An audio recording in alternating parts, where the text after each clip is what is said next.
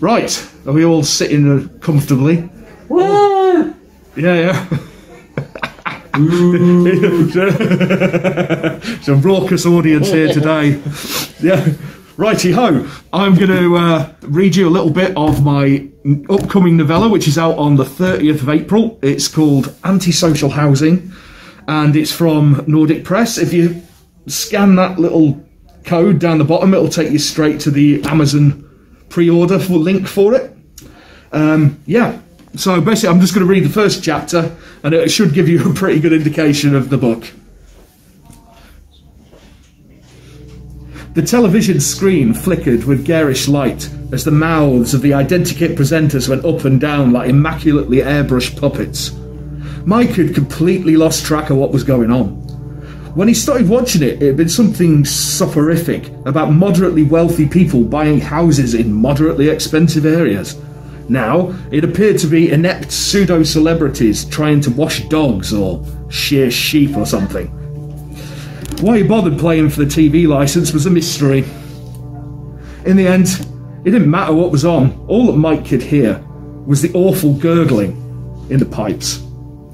He had tried turning up the volume, but all that succeeded in doing was to provoke the cantankerous old woman in the flat next door to fly into one of her frequent subpsychotic rages.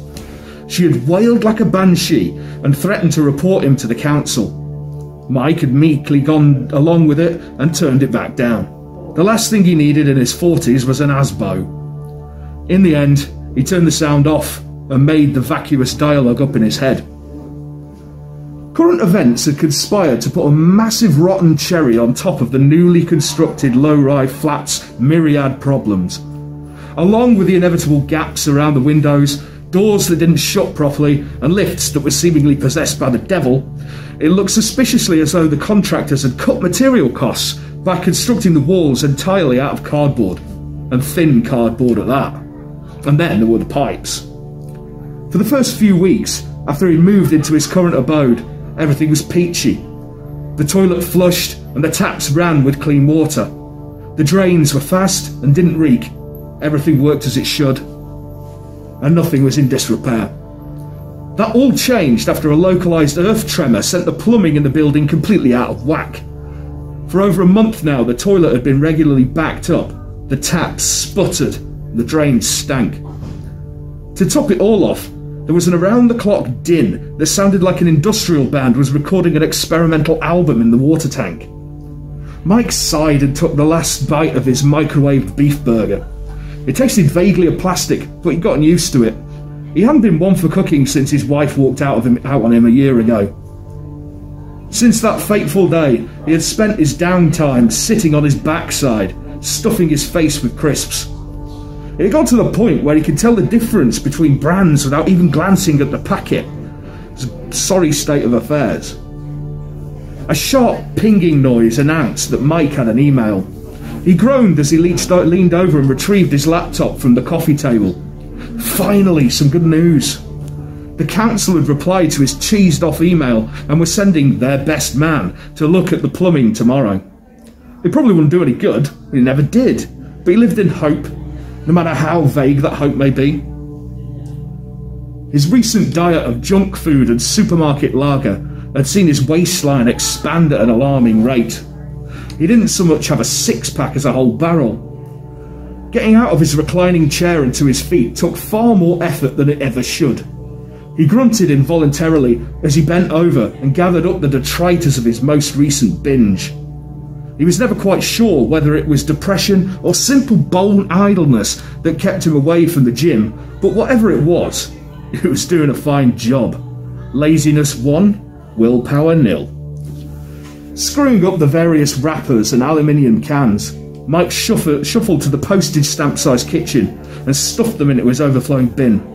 It was well overdue emptying, and he just knew that the thin plastic liner was going to split. Mike sighed again. That was a problem for another day.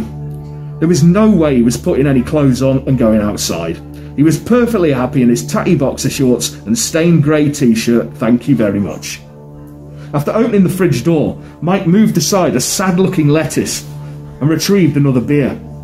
He was getting low again, This meant he would have to brave the horrors of shopping tomorrow. Yet another sigh escaped his lips as he wondered if life could get any more depressing. It was as though some great cosmic force was having a damn good laugh at his expense. Mike cracked open the can and grabbed his glass. He was on to the really cheap stuff now and needed to rinse it out. The combination of crap and not so crap lagers created a surprisingly horrible concoction that he tried his best to avoid. The froth always went funny and clung to the rim of the glass like scum on a pond. He twisted the tap, but nothing came out. Turned it back off and tried again. Nothing. Losing his patience, Mike slapped the moulded plastic grip with the flat of his palm.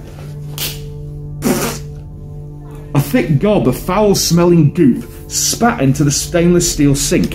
It was black and foul with a strange iridescence that gave it an oily texture. What the hell? Mike barked in surprise. He leaned in for a closer look.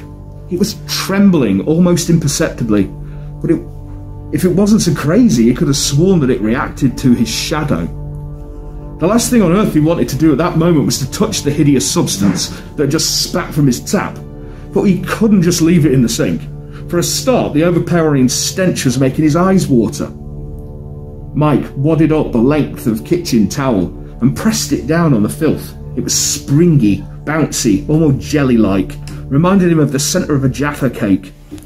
He dragged it towards the plug hole and was shocked to see that it left a thick, sticky trail. As he lifted the towel to go back and erase its track, the glob slurped back to its starting position like it hadn't moved at all. Eh? Mike had never encountered anything so bizarre in all his life. Get down the damn plug hole! He swore under his breath as he tried again, with the same infuriating results. Mike growled in the back of his throat and took a swig of beer directly from the can. He wiped his mouth with the back of his hand and tried once more. This time, he had another wad of paper ready and wiped its trail along with it. Gotcha! He bellowed in triumph as he lifted the bunched up tissue and saw that it was finally gone. As he swigged his beer in celebration, a disgusting gurgle directed his bloodshot eyes to the hole. He slammed the can down and turned the tap again. This time it worked. Eventually. After an unsettling chugging sound, icy cold water gushed into the shallow sink. It splat- slashed up at Mike, soaking his t shirt. Balls! Bloody perfect! Can life be any more fucking annoying? As if to answer his question, the stream of clear water gradually turned a rusty reddish brown. It had a distinctly metallic odour to it as it raced towards the plug, ho- plug hole. Whoosh! A filthy tongue of strange material burst from the hole. Mike screamed in horror as it rose into the air in front of his face. It was comprised of the same gelid substance as the mystery glob. It throbbed and vibrated as it lengthened, stretched, then sharpened to a needle like point. The ooze punctured his eyeball and slammed into his brain. Mike bellowed in agony as his brain was liquefied. The substance was corrosive. It burned like concentrated acid. In seconds, his skull had melted and collapsed in upon itself.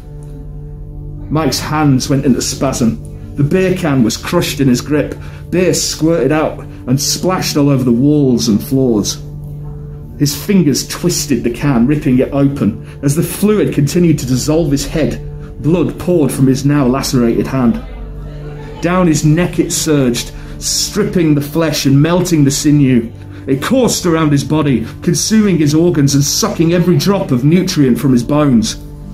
The monstrous fluid reached Mike's toes in seconds. The skin around his nails split as vile black protoplasm burst forth. It gathered in a growing pool, growing pool at his feet before surging up the outside of his body. In seconds, Mike had been completely consumed, clothes and all. The quivering mass of pulsating matter lengthened, sunk in upon itself, trembled, then shot back down the plug hole. All trace of Mike had been devoured. The steady drip, drip, drip of the tap and the mangled beer can were the only indication that anything untoward had happened. Right. Thank you. Thank you. Yeah, like I say, if you want to know what happens, you know, to buy a copy. Cheers.